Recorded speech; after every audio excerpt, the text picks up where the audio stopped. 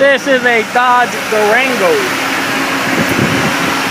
It starts up.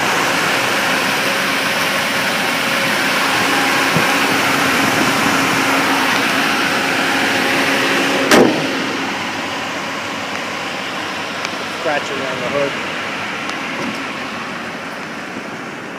Windows on this side. Open up.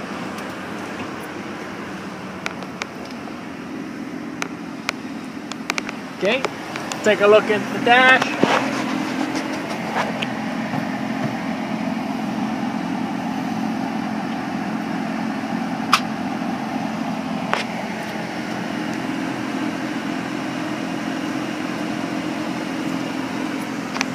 Now this Dodge has just the second row. The third row is not there. It's it's storage actually. We're gonna move this Dodge forward for you.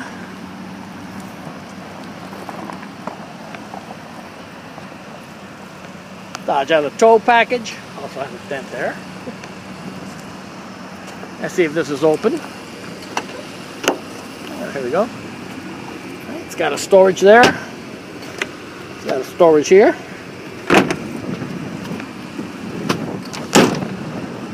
Windows on this side are working. AC, AC is not working. Gonna roll this car back for you. Remember, AC is not working.